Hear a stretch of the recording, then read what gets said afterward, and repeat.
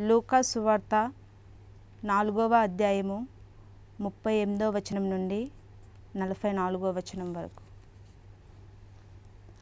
పిదప యేసు ప్రార్థనా మందిరమును వీడి తిన్నగా సీమోను ఇంటికి పోయెను. అప్పుడు సీమోను అత్త తీవ్రమైన జ్వరముతో మంచము పట్టి ఉండెను. వారు ఆమె విషయమును ఆయనకు మనవి చేసుకొనిరి.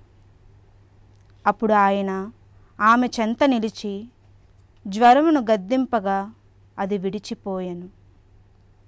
ఆమె వెంటనే లేచి వారికి పరిచర్య చేయసాగాను. ప్రొత్తు కుంగచుండగా నానావిధ రోగపీడితులైన వారినందరినీ వారి వారి బంధువుల యేసు వద్దకు తీసుకొని వచ్చుచుండిరి.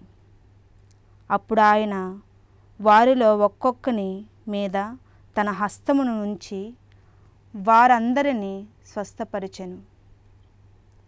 అనేకుల నుండి దెయ్యములను నీవు దేవుని కుమారుడవు అని కేకలు పెట్టుచూ వెళ్ళిపోయాను. అవి ఆయన క్రీస్తు అని ఎరిగియుండుట వలన ఆయన వారిని గద్దించి మాట్లాడనీయలేదు వేకువనే లేచి యేసు ఒక నిర్జన ప్రదేశమునకు వెళ్ళెను.